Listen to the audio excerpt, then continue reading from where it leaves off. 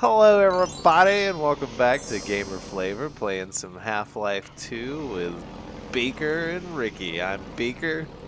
And I'm Gamer FlaVR. No, you're, you're Ricky. How dare you? That is my brand. I have And worked, Gamer FlaVR. I've worked so hard on this brand. People know me in multiple houses. you do you, bro. I watched your live stream the other day. and I was like, oh, look at this guy explaining to us why every 20 minutes he's like, welcome to Gamer FlaVR.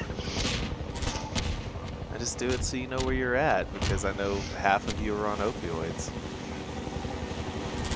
And that's why you watch it, Gamer FlaVR. Well, that's that's our American audience. Um, surprisingly, God, he's doing a lot of damage.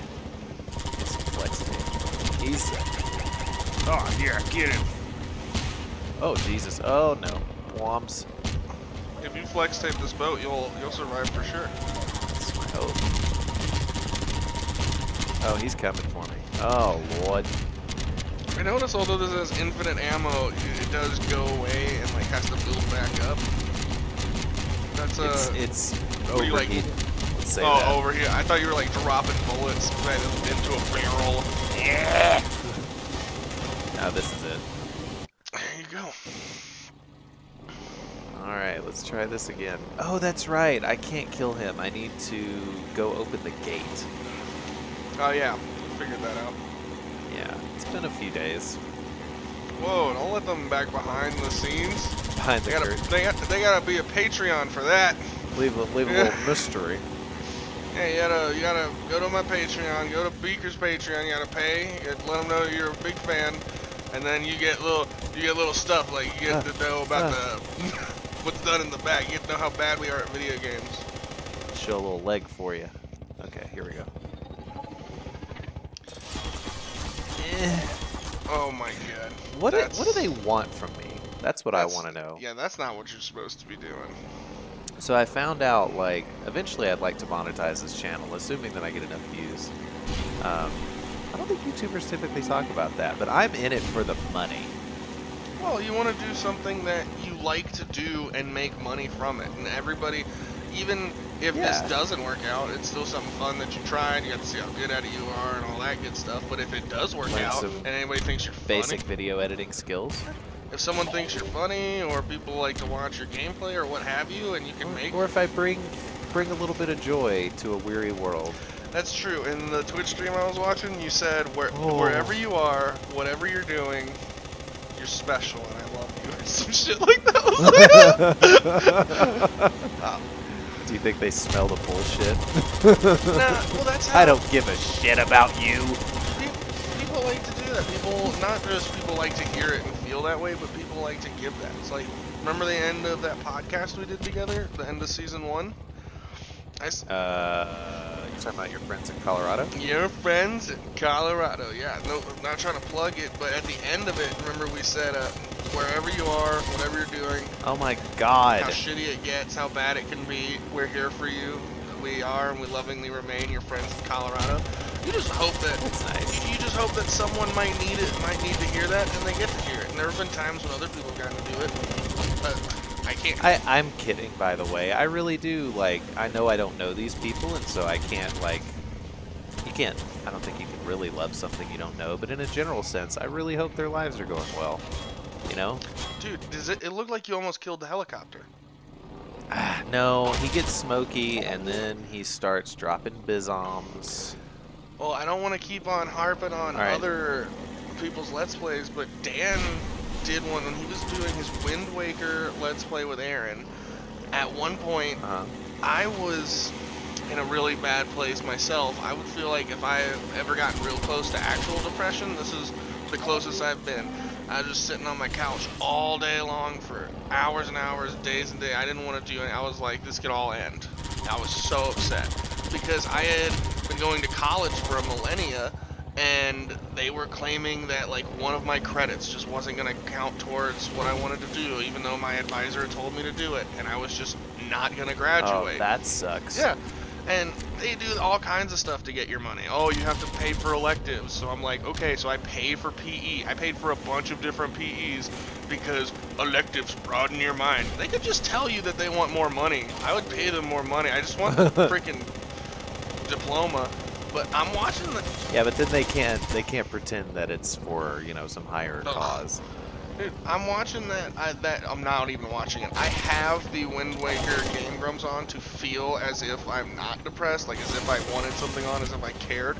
And it gets to a point where Yeah. Dan talks about throwing his like medication in the ocean, and this time he had like it's. I'm oversimplifying it, and he went back and was like, Oh, I vaguely remember he this. came back and told yeah. people like, don't throw your medicine in the ocean. But you know, like his whole thing was he told this long story about how he felt, how dark the world got, how someone, one of his friends, just said, don't obsess over that, and it got him to look up obsession, and he figured out about OCD and all kinds of stuff. And it got to so many people. It got to me a little bit. But what got to me more was the next episode. He had to put himself at the end of the episode talking to the camera, explaining to people like how how much it meant to him that it meant so much to us.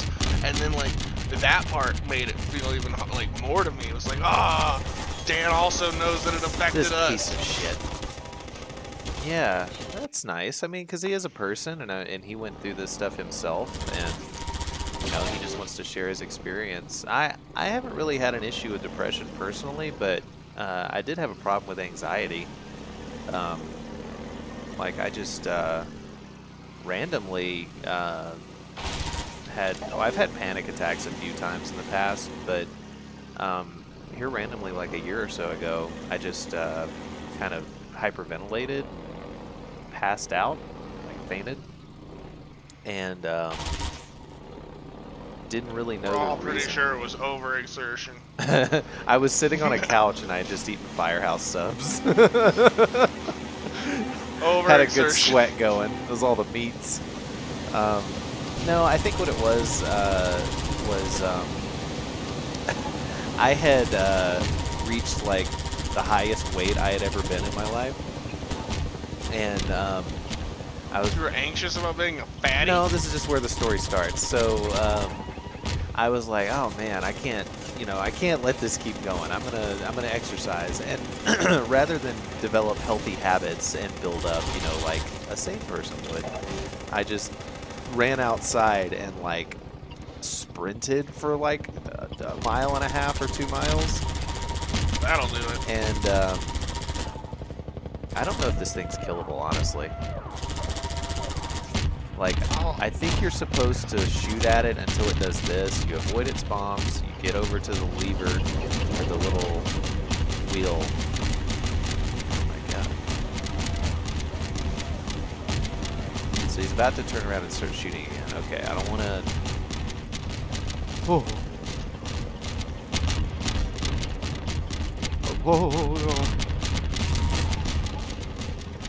Where is he? Ah. So after he quits shooting, after I shoot him some more, maybe, maybe then. The best way to deal with the helicopter is whenever it's dropping the mines, get to a safe distance and just stand still and shoot a bunch of bullets into it while it's dropping the mines. Oh, okay, so you- rows of barrel mines. Got it. So you do want to still try and kill it. I thought that it might be unkillable, and that I just needed to get this gate open.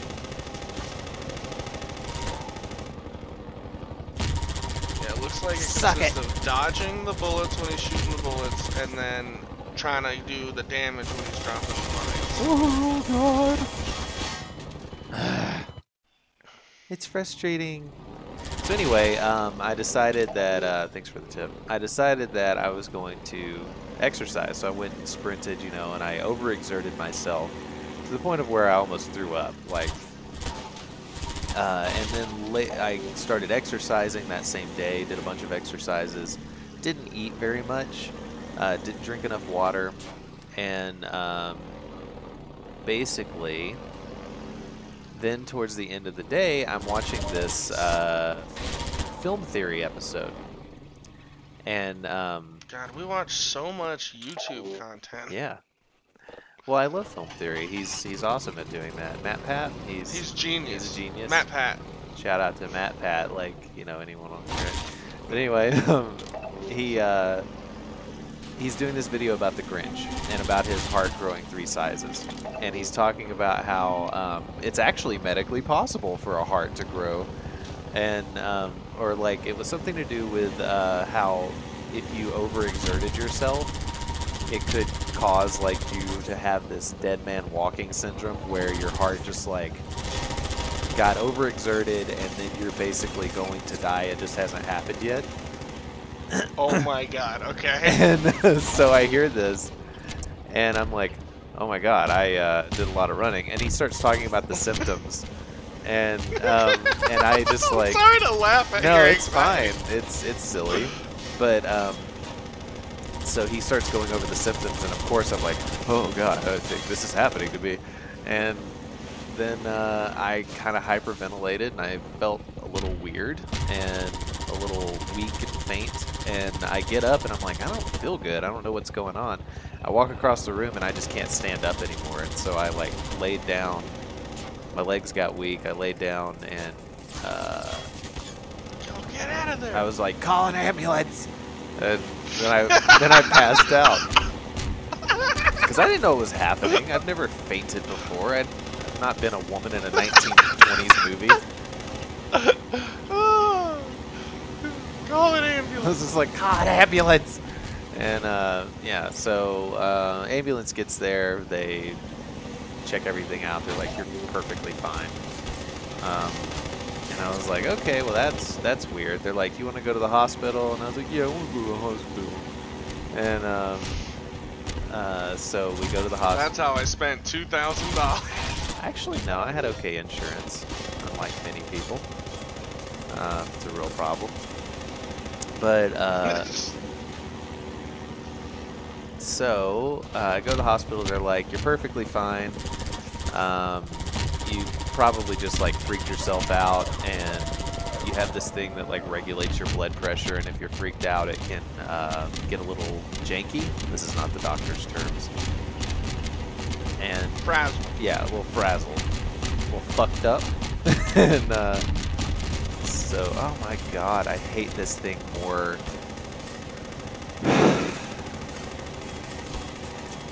I hate I hate this thing a lot. Is it? This might be one of the biggest boss fights of the This game. is you know? apparently like nothing has topped this in the first Half-Life game, except for this one hallway that just keeps exploding. Can't get me here.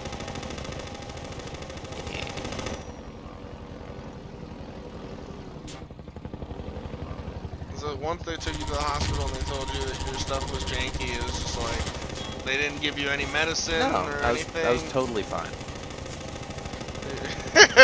And, uh, yeah. totally fine. So I just, and it was on uh, Christmas Eve, by the way. It was on Christmas Eve. yeah, this was on Christmas Eve. And so I was just like thanking them profusely. I was like, I'm so sorry to get you guys out for this whole situation. They were just like, no, it's our job. We're working anyway. They were really kind. And um, so then, like, a couple of months go by, and uh, I'm just sitting there watching uh, TV, and all of a sudden I start feeling it again. Like it was a very distinct sensation. It was uh, like the cold liquid was being poured down the inside of my chest. You need to find a crate for health. Yeah, I know. I'm looking. I mean, thank you. Sorry. Shit. No, no, fudge you.